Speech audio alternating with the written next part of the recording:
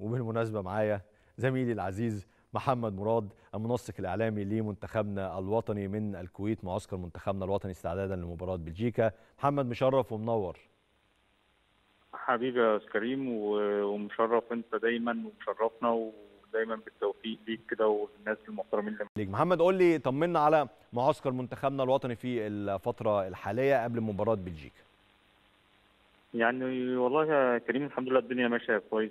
من ناحية التنظيم من ناحية التدريبات الأمور ماشية كويس الحمد لله.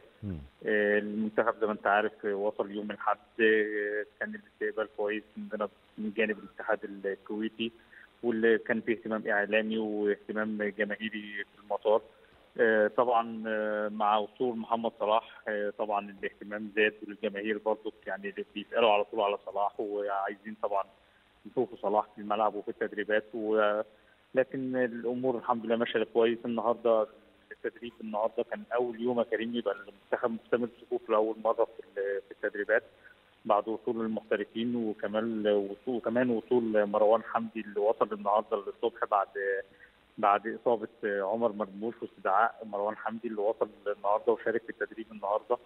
آه، اللعيبة كلها 24 لاعب كانوا الحمد لله موجودين في التدريب. أحمد الشناوي حارس المرمى يعني الحمد لله آه، سليم وبيشارك في التدريبات وشارك في التدريبات النهارده بصورة فرديه مع كابتن لويس مدرب حراس المرمى وأدى التدريبات الحمد لله بصورة جيدة.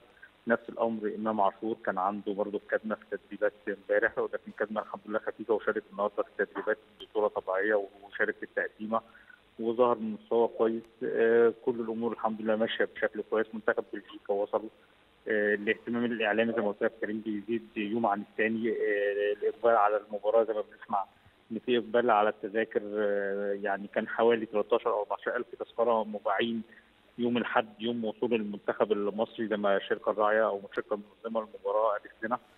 آه، يعني الحمد لله يعني في الشوارع برضو بتمشي تلاقي صور للمباراة إعلان عن المباراة صور نجوم مصرية محطوطة على على البنرات في الشارع سواء النني سواء محمد صلاح طبعا تريزيجيه محمد شناوي آه، زيزو في صور مختلفة للعيبة موجودة في الشوارع ال- في شوارع الكويت.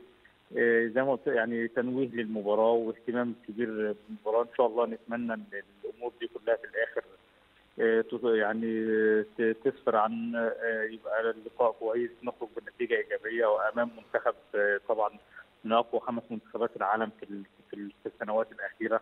بيضم لعيبه كبيره جدا زي دي بروين هازارد لكن الحمد لله عندنا لعيب برضه بينافسهم. هو وكان احتل المركز الثالث في تصنيف أفضل لعيب العالم محمد صلاح طبعا. فإن شاء الله ماتش يبقى كويس. اللعيبة كلها عارفة أهمية اللقاء. اللعيبة كلها في التدريبات مركزة ومركزة بصوره قوية جدا على أمل إن هم يشاركوا في ماتش زي ده. آه، فيتوريا روي فيتوريا الحقيقة أنا سامعك أنت بتتكلم على حاجة مهمة قوي يا كريم اللي هو إحنا في أي ماتش من الماتشات الكبيرة بنقعد ندعي يا رب يا رب فعلا لكن الراجل جاي أو ده أو التفكير بتاع اتحاد الكورة والاتفاق اللي كان بين اتحاد الكورة و- أو حازم إمام وري فيتوريا إن هو يبقى مشروع لمدة أربع سنين عشان يطور الكورة في مصر على على على جميع المراحل. آه، بس عارف يا محمد أنا عارف يا محمد بعد إذنك أنا بس مش ما كنتش بتكلم على فيتوريا وأنا فيتوريا من أكتر المدربين اللي أنا متفائل بيهم جدا. وفكرة الأربع سنين كمان دي واحدة من أهم أهم الخطوات اللي يمكن عملناها في تاريخ الكرة المصرية إن في حد قرر يتعاقد مع مدير فني للمنتخب أربع سنين. ده الطبيعي وده المفهوم بس إحنا ما كناش بنعمل كده قبل كده. بس هي الحكاية المفروض مش بس مش بس مدرب لمنتخب مصر هي منظومة بالكامل تمام. لابد أن تتطور. عشان في الآخر صح. ما نشيلش فيتوريا المسؤولية لا قدر الله في أي إخفاق. هي الحكاية مش مدرب ومستنيينه يعمل سحر. اتفضل. أنت فعلا يا كريم كلامك كله صح. الحقيقة إحنا عايزين نبني من تحت الاهتمام بيبقى الاهتمام بالناشئين من. تحت. يعني آه، زي ما بقول لك يعني مش عايز أقول أسامي.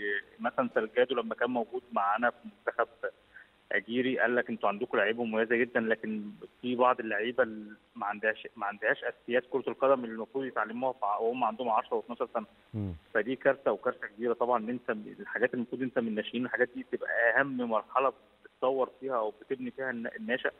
فطبعا لازم نتفق معاك مع مع مع كلامك 100% يا كريم إن إحنا لازم نهتم بكل التفاصيل مش منتخب أول بس أو أهلي بس أو زمالك بس أو لازم نهتم. بال...